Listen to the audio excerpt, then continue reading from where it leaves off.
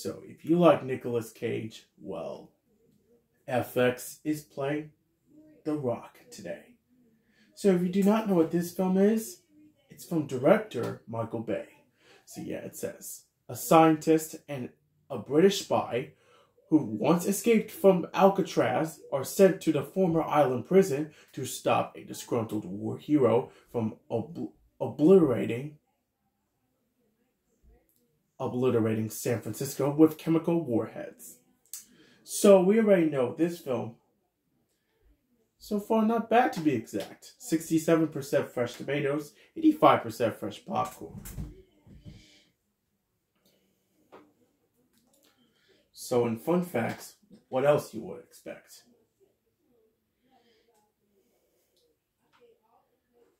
And fun facts, when it comes to intense science fiction movies, think outside the box. So yeah. And if you want more FX and Disney Channel content, make sure you subscribe for more updates. So yeah.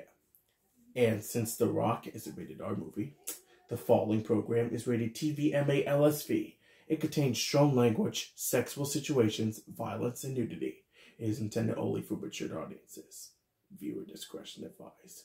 And it's taken after Rise of the Planet of the Apes. For some reason, I thought I was going to do this on Friday, which is yesterday. But instead, I want to do it on Monday. So, yeah. I decided to reschedule all the ideas for Rise of the Planet of the Apes. Think outside the box for a sec. So, yeah, really cool. That, let's continue.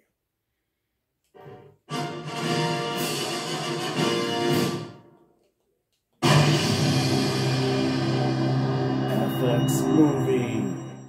The following program is rated TV MA LSV. It contains strong language, sexual situations, violence, and nudity. It is intended only for mature audiences.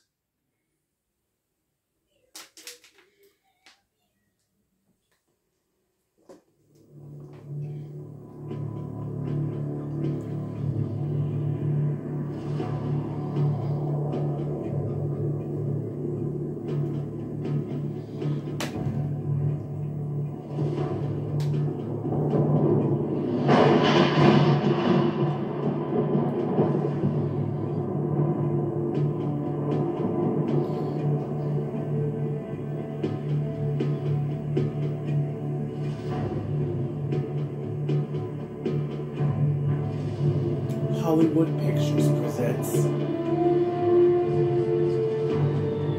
Don Simpson plus Jerry Bruckheimer production, a Michael Bay film,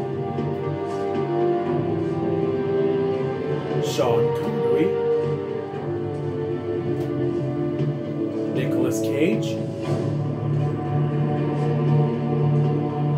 Ed Harris.